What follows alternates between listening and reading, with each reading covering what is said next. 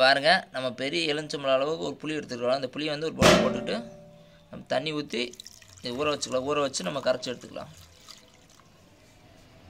மூணு பெரிய வெங்காயம் எடுத்துக்கலாம். நம்ம சின்ன வெங்காயம் பதிலாக நம்ம இன்றைக்கி பெரிய வெங்காயம் போட்டு பண்ண போகிறோம் இது இது வந்து நம்ம வந்து வெட்டி எடுத்துக்கலாம். ஒரு தக்காளி பழம் ஒன்று எடுத்துருக்குறோம் இதையும் வந்து வெட்டி எடுத்துக்கலாம். நம்ம கடையை வச்சு அடுப்பு பற்ற வச்சிட்டோம். இப்போ கொஞ்சமாக எண்ணெய் ஊற்றிக்கலாம் எண்ணெய் காயட்டும். அரை டேபிள் ஸ்பூன் வெந்தயம் போட்டுக்கலாம். நம்ம வெந்தயம்லாம் பொறிஞ்சு பொரிஞ்சு வந்துருச்சு. நம்ம வெட்டி வச்சுட்டு பெரிய வெங்காயத்தை போட்டுக்கலாம். இது வந்து வதக்கலாம். பாதி அளவு தான் வதங்கணும். ரொம்ப வதங்கக்கூடாது.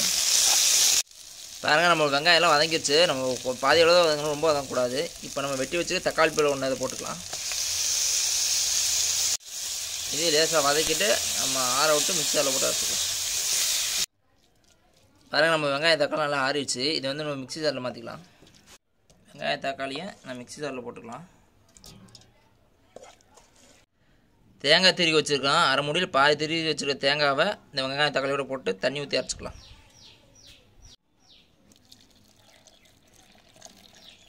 இதை நம்ம அரைச்சி எடுத்துக்கலாம். கடையை வச்சு அடுப்பு பற்ற வச்சிட்டோம். இப்போ கொஞ்சமாக எண்ணெய் ஊற்றிக்கலாம் எண்ணெய் காஞ்சிருச்சு. கடுகு அரை டேபிள் ஸ்பூன் போட்டுக்கலாம். வெந்தயம் அரை டேபிள் ஸ்பூனு. ஜீரகம் கால் டேபிள் ஸ்பூனு. சோம்பு கால் டேபிள் ஸ்பூனு. ரெண்டு வரமிளகா கொஞ்சமாக கருவேப்பிலை ஒரு ஸ்பூன் மிளகாத்தூள் மல்லித்தூள் ஒரு ஸ்பூனு. மிக்ஸி ஜாரில் போட்டு அரைச்சி வச்சுருக்க இந்த பேஸ்ட் இதில் ஊற்றிக்கலாம்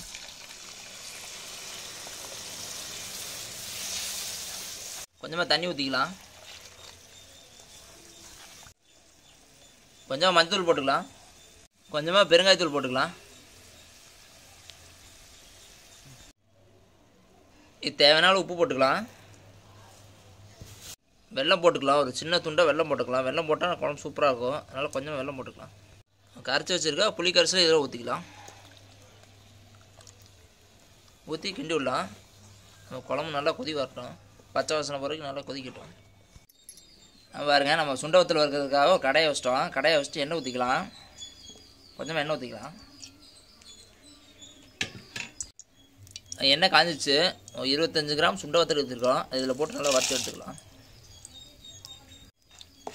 இது வந்து இப்போ நான் வந்து நல்லா வறுத்துக்கலாம்.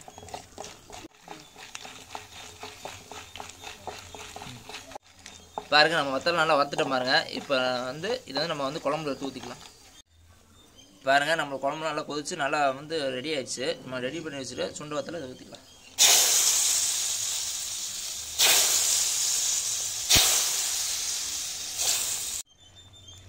பாருங்க நம்ம சுண்ட வத்தலை போட்டோம். சுண்ட வத்தலை போட்டு ஒரு ரெண்டு நிமிஷம் நல்லா கொதிக்க விடலாம். அப்போ தான் அந்த சுண்ட வத்தக்குள்ளே அந்த அந்த குழம்பு சைடில் நல்லா உள்ளே போக வரைக்கும் போகும். நல்லா சாப்பிடும் நல்லா டேஸ்ட்டாக இருக்கும்.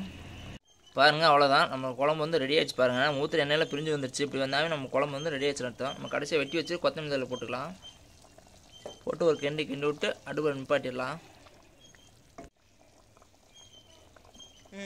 பாருங்க அவ்வளோதான் நம்மளோட சுவையான வத்த குழம்பு ரெடி ஆயிடுச்சு பாருங்க. ரொம்ப சூப்பராக இருக்கு பாருங்க. பாருங்கள் அவ்வளோதான் நம்மளோட சுவையான சுண்டை வத்த குழம்பு ரெடி பாருங்கள் ரொம்ப சூப்பராக பாருங்கள் இப்படி பண்ணால் டேஸ்ட் ரொம்ப நல்லாயிருக்கு எளிமையான முறையில் ரொம்ப சீக்கிரம் பண்ணிடலாம். இந்த மாதிரியான வத்த குழம்பு உங்கள் வீட்டில் நீங்களும் செஞ்சு பாருங்கள் இந்த வீடியோ பார்த்து நன்றி.